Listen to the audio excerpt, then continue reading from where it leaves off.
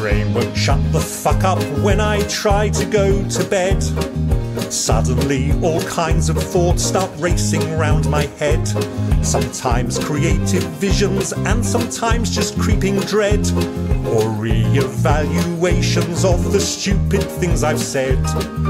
Lying in the darkness, in the silence on my own.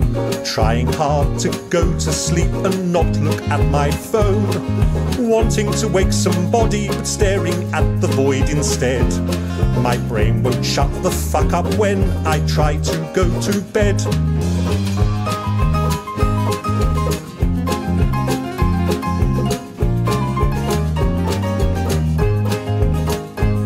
My brain won't shut the fuck up when I want to go to sleep.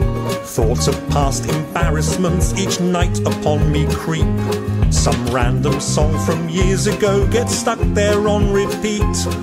Or worries about the week ahead just make me want to weep. Regulating temperature by flipping over my pillow. Convinced I need the bathroom, but not able to go. Trying everything from reading books to counting sheep. My brain won't shut the fuck up when I want to go to sleep. My brain won't shut the fuck up when I try to close my eyes. Concerns I'd long forgotten about come back and say, surprise!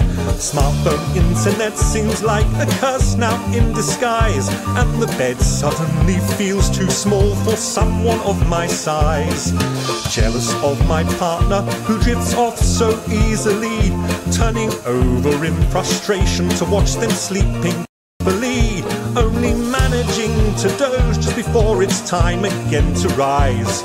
My brain won't shut the fuck up when I try to close my eyes.